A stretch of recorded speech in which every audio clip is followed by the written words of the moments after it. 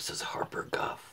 He was an artist, actor, and musician that lived between 1911 and 1993.